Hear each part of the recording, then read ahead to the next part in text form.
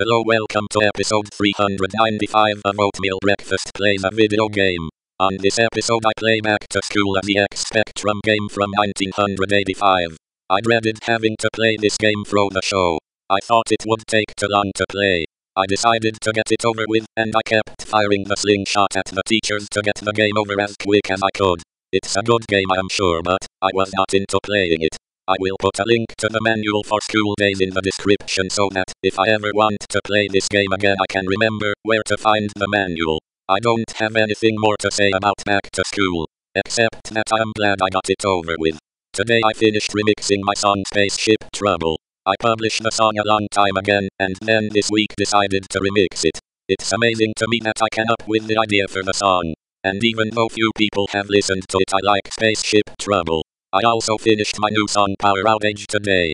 It's always hard for me to think about how I want the song to sound. I don't think I'm that creative when it comes to making songs. But, I do enjoy making songs. I only wish people enjoyed listening to my songs as much as I do making them. Maybe if I keep making songs someday people will enjoy them. The other day I was watching a soft drink TV video about emulating old sports games in 4K. In fact, that is the title of a video I think. It was talking about using emulators to emulate the old hardware and make the games look even better. It's weird that I thought I would have to buy an Xbox to play Xbox games. I even thought I would have to buy a PlayStation 5 to play old PlayStation games. And I'm not even sure if the PlayStation 5 would play the game. And I also thought that I would have to buy an Xbox Series S to play old Xbox games but, after watching the soft drink TV video I know different. I don't know what I was thinking. I knew there were emulators. Oh, well now I know. After watching Soft Drink TV I really want to play old sports video games. I always thought that every new sports game was better than last year's.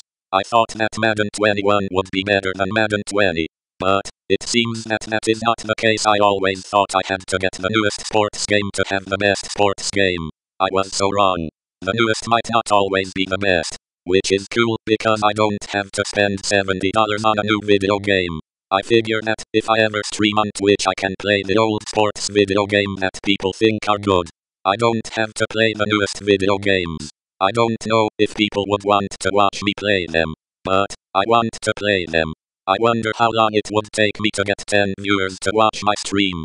It seems pretty hard to get people to watch. I don't know if I would want to play video games 12 hours a day for a year to build up my Twitch channel. I figure I would get burned out with video games if I played them that much. At least watching Soft Drink TV has made me think.